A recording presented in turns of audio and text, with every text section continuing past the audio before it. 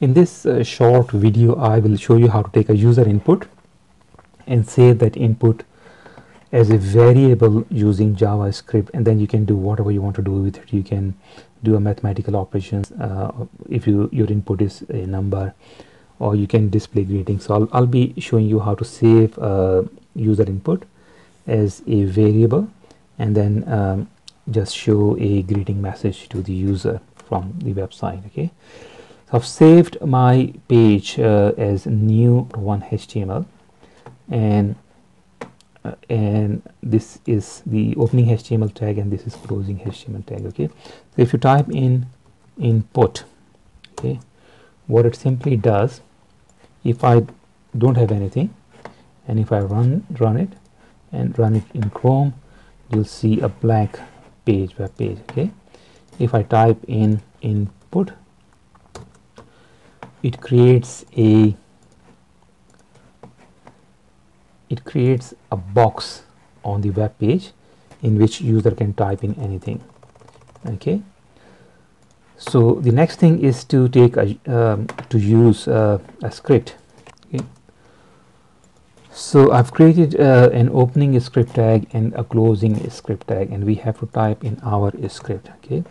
And here we'll use our old uh, favorite document dot get element by id uh, this is a method in javascript. Document refers to the in very simple words it refers it is one of the dom objects and this refers to the blank page.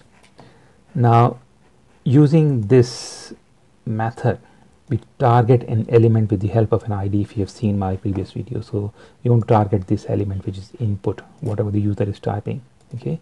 So we have to give this an id okay? And i will give this an id of id of user input. Okay? Now once we have given this element an id we can target this by copying this and then just typing into these uh, brackets.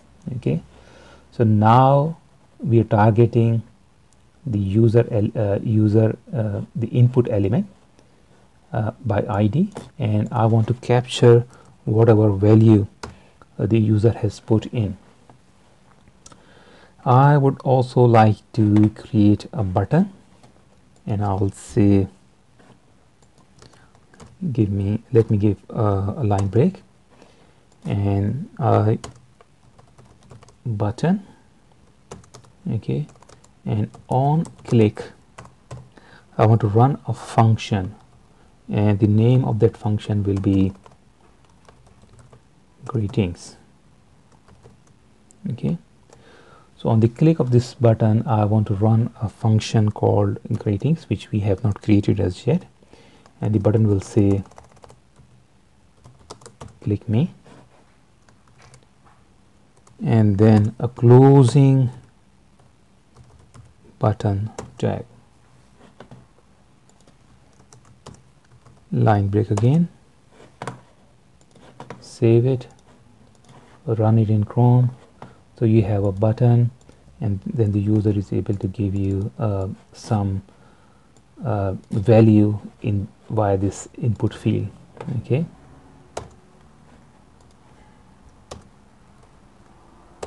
okay. Save it. Format is a bit better now but nothing happens because we haven't created the function called greeting although we have we are targeting this element whatever is being put in. So we have to create a variable okay? So we'll create a variable and I'll give it a name of AD for example okay. So we're saving whatever user user types in as a variable called AD okay. And once we have everything that we need we can create this into a function okay called greeting. Okay.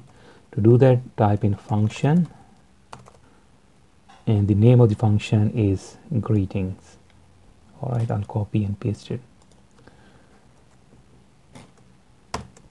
and then open curly bracket and then a closing curly bracket.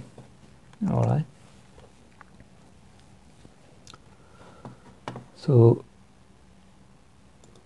let's see if it is okay so far. Nothing will happen and we can simply say document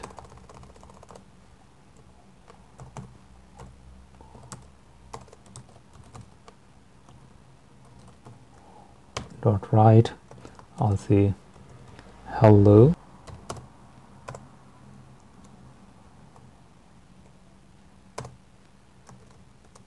And I will type in whatever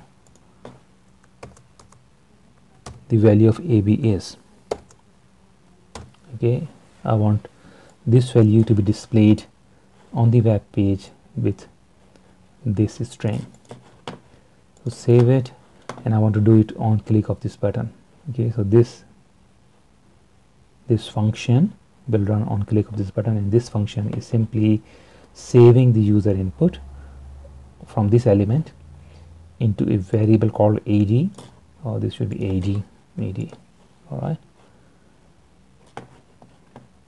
Save it run. Now whatever you type in click it. Hello Michael okay? Run it again. Whatever you type in.